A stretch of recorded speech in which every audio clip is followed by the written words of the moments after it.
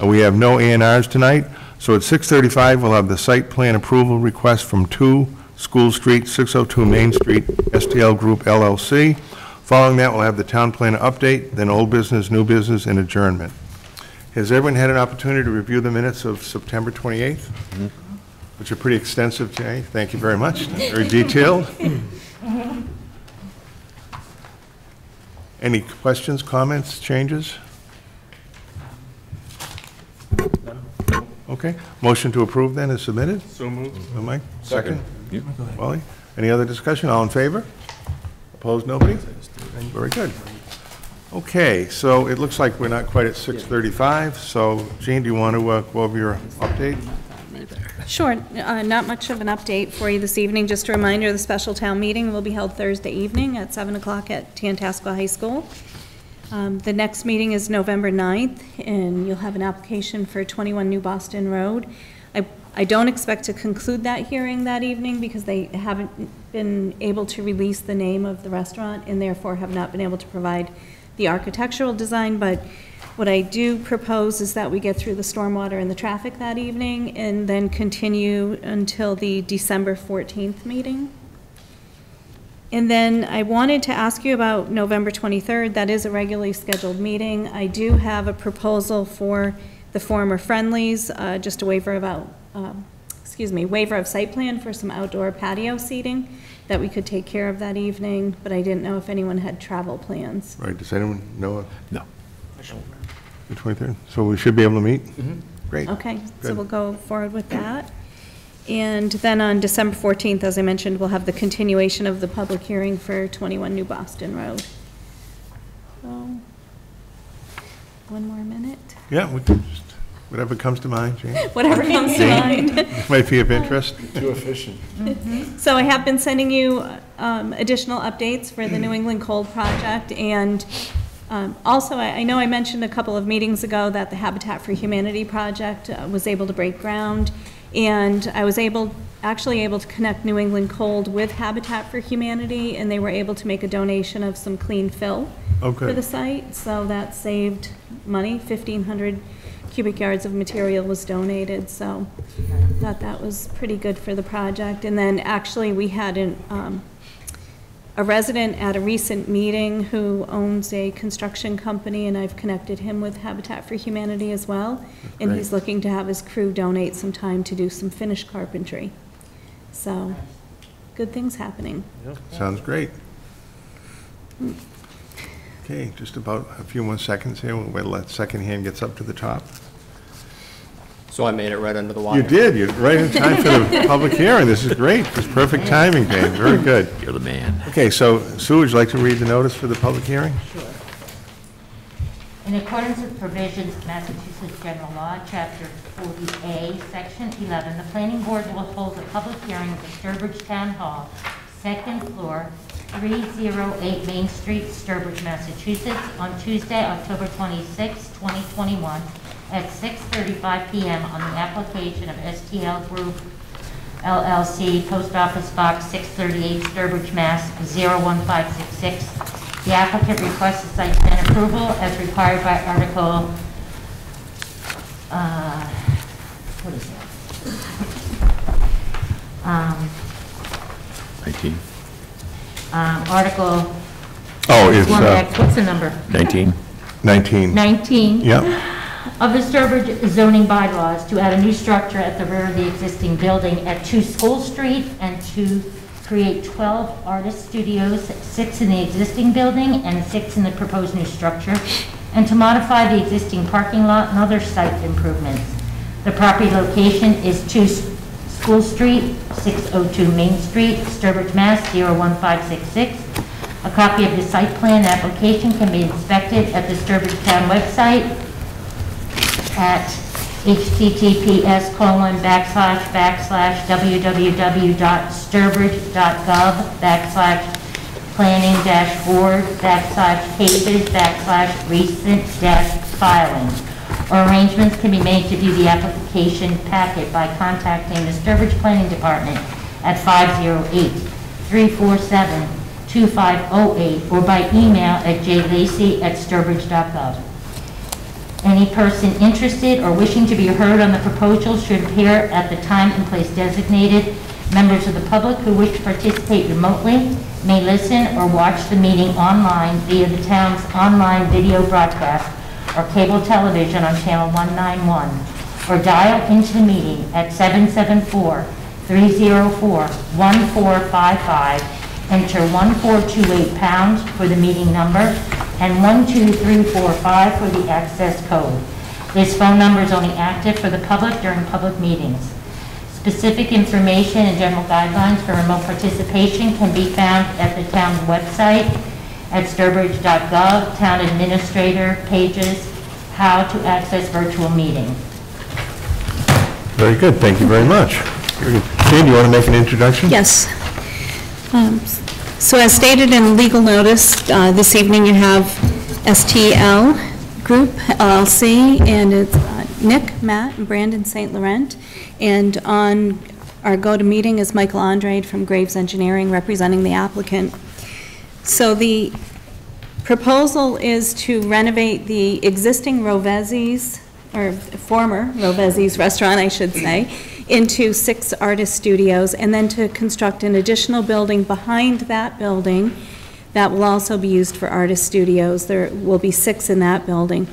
So you'll probably recall the St. Laurent family has recently renovated four buildings, one's currently under construction, within the Commercial Tourist District.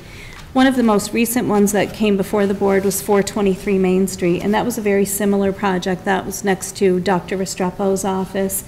And during that process of leasing out those spaces, they actually developed a waiting list of people that were interested in having the artist live workspace for their use. And I did ask, when we had our initial conversations, asked if they could um, share with me their waiting list, so I could just kind of see what, you know, what types of artists were looking for spaces. And I did find that there were graphic designers, there was an author, photographer, I believe, um, music teachers, um, so different people in, in the arts that would definitely meet the definition. So with that, they went forward and had their plans prepared, and the plan has been distributed to all the departments for review and comment. I've compiled those staff comments and sent them to the applicant for review. There was a little bit of back and forth over the next couple of days, or the last couple of days, I should say, because it was determined that the dumpster was um, located within the setback, and so the dumpster needed to be moved.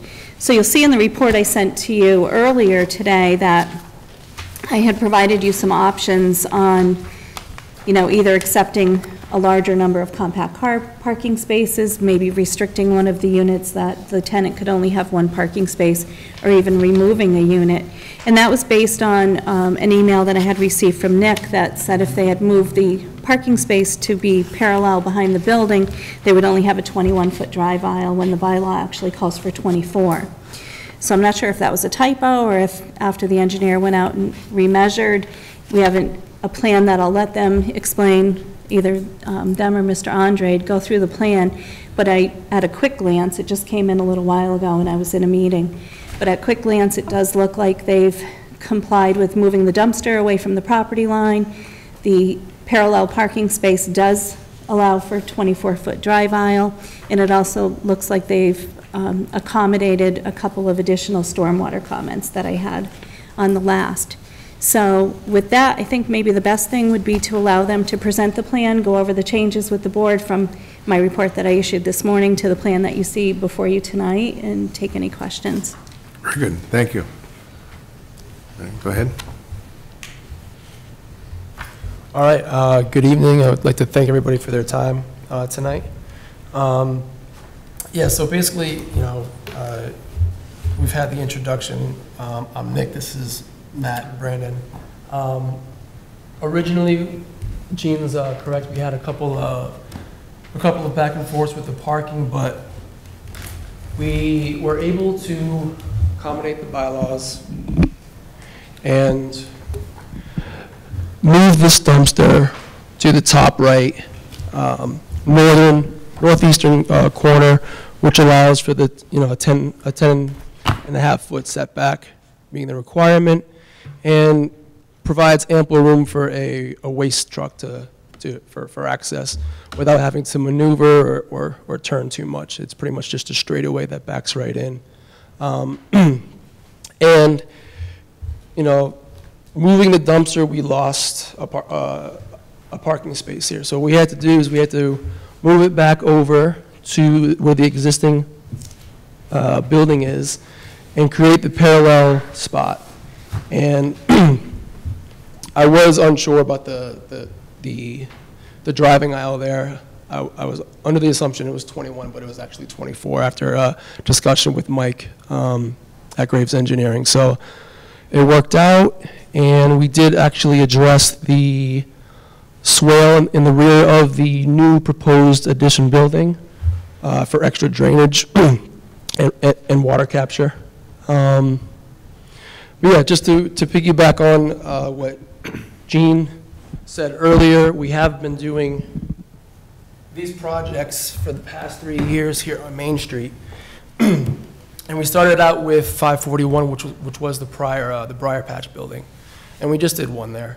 And we got a lot of, uh, a lot of uh, feedback or, or demand for that specific unit. So didn't really think anything of it, and then we moved along to 554, which was just residential units, and then we tackled 423 Main Street, where we had five units in total, four were artist studios, and one was just uh, residential. And we started seeing, you know, as you can imagine, given the past year, quite a demand for these, uh, these artist studios, and um, the, the emails and the contacts just keep, kept rolling in, so. And then we moved along to 548 uh, Main Street, which we're, we're doing now, and- and that is also just, just um, residential units. And so, which brings us to this proposed project now here at the former Rovezzi's um, establishment. Um, We thought it was ideal because it had an existing structure, and it also had room in the back for an additional structure to kind of economically utilize the space there. And it was great that it had the 602 lot adjacent to it, so we could provide ample parking. We thought it was an ideal candidate to, to do these artist studios, and so we decided to move forward. Um, You know, uh,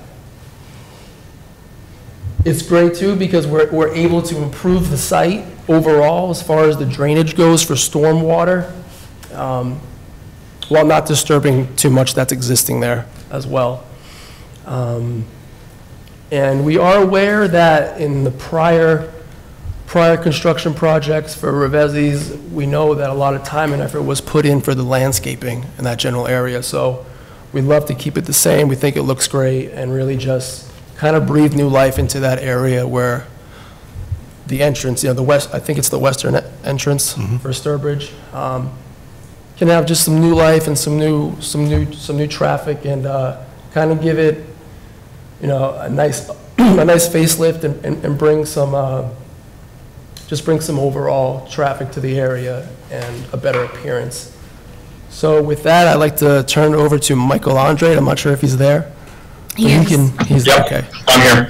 Okay, so he can answer any, you know, engineering questions you might have or concerns, and we'll go from there. Great. Thank you. Yeah, just, like- if I could just make a couple comments off, off the bat before we go into questions. Um, First, thank you, thank you very much to Jean and her staff for the comments and the time we turn around. We appreciate that. Um, I'll just explain some of the confusion about the dumpster. Um, So we take ownership of that. We weren't aware the dumpster was considered a structure in town um, and, and therefore needed to comply with that setback. So once we learned of that, we, we moved it to where the location is now. Um, and the question about the, um, um, aisle, aisle, uh, width in, in this area, we originally sorry, can you guys hear me? Yes. Okay. Uh, I'm just hearing my own echo. Um, we originally had these spaces as eight by 20. So they were compact in width, uh, but they were, um, standard spaces in length. That was what made the 21 foot, um, aisle. So we changed these to, uh, straight compact both in width and length. They're eight by 18 now. So that opened up the aisle to 24 feet and we were able to add that parallel space uh, against the building uh, on this end. So that was just want to clarify those two issues that were maybe a source of confusion. Um, I can certainly answer any questions anyone might have. Charlie, if I may. Michael, could you please go over the uh, stormwater management plan, just because you are making some changes there? Right, so um, we have, uh, I'm going to switch to another file here. The project overall is reducing impervious um, surfaces on both sites. Uh, What we're showing here, uh, the areas that are in red are what uh, is now um, um, uh, pervious that's being made impervious. And the green on both sites is what is currently impervious that we're changing to pervious. So uh, just starting in this lot, this entire lot is paved. Obviously, the building is impervious, but the area behind it is going to be landscaped, grass uh, and landscaping as long as along the front of the building. And we're able to shave a little bit on the edges of the parking lot. So there's an overall reduction of impervious on that site by itself on the tool, uh, on the, um, Main Street parcel, same thing, we're shaving a bit of impervious around the perimeter where we don't need it. Um, and creating a bit more of a buffer, uh, at the entrance here to separate the parking from the street. So both sites, um, overall, I'm gonna switch back to the other sheet. We have a, um, uh, reduction in impervious on Tool School Street site from seventy-one percent to sixty-two percent and on 602 Main from 57 to 53 percent. Um, so we are considered a redevelopment in terms of stormwater management, and we're required to make improvements um, to maximum extent practicable. So we looked at it and considered a bunch of different options, and um, the site is is difficult in a couple respects. Um, one, because the land area is so tight, especially on the two School Street parcel with the building and the parking lot and existing utilities. Um, and all this drainage now drains into this existing parking lot and a catch basin here. Um, the uh, Main Street uh, parcel all flows towards Main Street. There's no drainage there now. There is some drainage in School Street itself. It's all relatively shallow. This site itself could not drain to that system uh, because of the elevation difference um, and likely the same with this. So what we did was, uh, in addition with the reduction of impervious, is um, create at the lower end of both sites uh, what we call an infiltration trench, which is just a stone-filled trench that'll capture all the sheet flow off of both sites, allow some exfiltration in dry times, and slow that uh, rate of runoff off the site and provide some minor infiltration, some minor TSS removal, but we haven't credited any actual removal for that um, stormwater discharge to both sites. So those are the stormwater improvements that we're proposing um, as part of this project. Very good, okay. Thank you. Wally, do you have any questions or comments? No, I don't. No, I'm good. Dane? No. Okay. Sue? No. I'm all set. Mike? No questions, no. Okay. Anyone from the public? Or on the, Check on the phone. Well, oh. I was checking there. Is there anyone on the line that has an interest in speaking on the application of STL Group LLC for the property located at 2 Brookfield Road, also known as no, 2 School Street, Now they've done to one. 602 Yeah, yeah, Main no, no, Street. this one here. They- they- No? Okay, I guess we'll have a motion to close the public hearing? So moved. Second, second, Sue? All in favor? Opposed, no one? Okay, do we have a uh, motion you'd like us to have? Um, Yes, so I've provided you on page seven of the report that I provided earlier today, uh, a proposed list of conditions, and I have provided these to the applicant as well. So the recommended motion would be to approve the site plan approval for STL Group LLC for the property located at 2 Brookfield Road, also known as 2 School Street and 602 Main Street, to allow the renovation of the existing building into six two-bedroom artist studios and to construct a new building on the property that will contain six one-bedroom artist studios in accordance with the plans and supplemental materials provided with the following conditions. One, the artist studio shall only be rented to those tenants meeting the definition noted in the bylaw, and a list of tenants and the occupation of the tenant shall be provided to the planning department for inclusion in the file. This list shall be updated as required. Two, all state and local zoning bylaws, building codes, and other regulations must be adhered to. Three, all other necessary permits and approvals must be obtained prior to the start of construction. Four, all necessary plans and reviews must be provided to building and fire departments for review and approval prior to beginning construction. Very good. Would someone like to make a motion approving that? So moved. I have one question. Sure. just come up. Um, Landscaping, you mentioned the front of the building needs, needs to be um, regenerated. What about the, um, the new building that is going to be put up? What's Uh, the plans for landscaping? On the, uh, the site plans, there are actually uh, guidelines to what type of planting we'll be planting. Um, It's a mix of, I believe, uh, emerald green arborvitae and uh, some Donald Wyman crab apples. Um, But uh, we're open to plant, I mean, I'm sure that can, can change along the way. Um, There's not much plantings really that we're, we'll be doing along the side of the new structure. Um, But right now, that's what the plan are, plan is. How about in the parking area?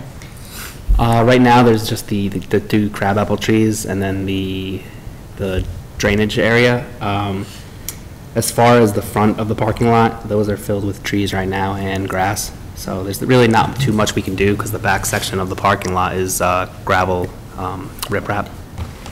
Um, So that will will most likely stay the same.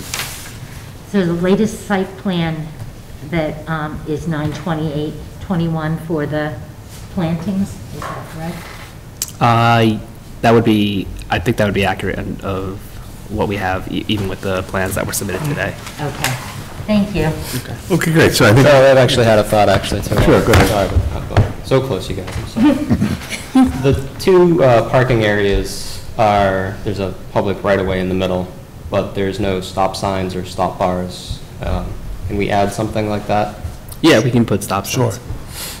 Um, Similarly, to the north of the new trash enclosure, there's a lot of pavement that's no longer being removed. Could we remove that as well? Well, I'm sorry, what Which, where are you which referring pavement to? are are referring Sure, to? so on the, uh, the 602 lot, Yep. uh, to the north of the trash enclosure, that former parking space pavement that's no longer accessible. There's a lot of other areas that have been grayed out with a hatch to say, remove impervious, replace with uh, more permeable riprap. Be a big opportunity to pick up some more square footage there. Yeah, we can definitely do that. And on that same parcel, the infiltration like it's pretty trench does not currently have an overflow point. dumpster. I don't think they- The infiltration trench on the School Street lot does have an overflow point.